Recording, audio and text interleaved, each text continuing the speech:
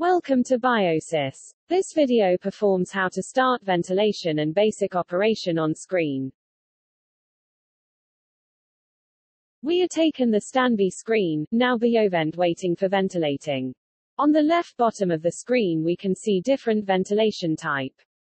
Biyovent has four types, non-invasive, invasive, NCPAP and HFO. After that we'll select the patient group which are children woman and man. And just up there, we will specifying patient's height and weight.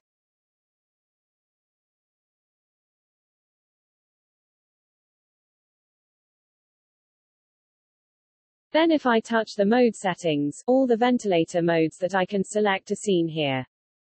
As you see, I can choose each of them, easily.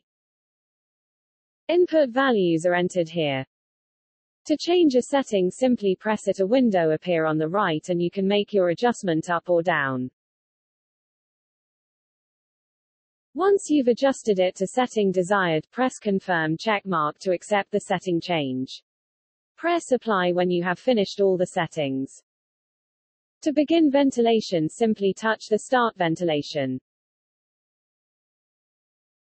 You may encounter such a warning when ventilation begins. Biyovent tries to assign values in the first four breaths. If you see red warning on the screen, this is caused by exceeding the alarm limit values which entered by the user. We will explain alarms detailed in the next videos. When you see operating word in green light, it means Biyovent work properly.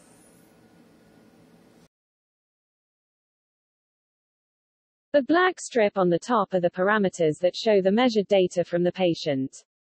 Biyovent displays more than 25 parameters to its users simultaneously.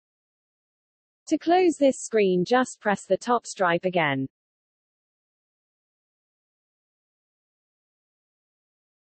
You can also use lung diagram to follow the patient. Parameters are displayed instantly here too. To examine the graphics you may pause the screen. However ventilation will continue when you stop the screen.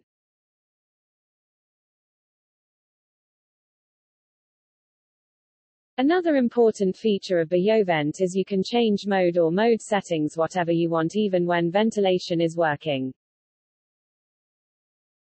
It will appear on the datas in few seconds.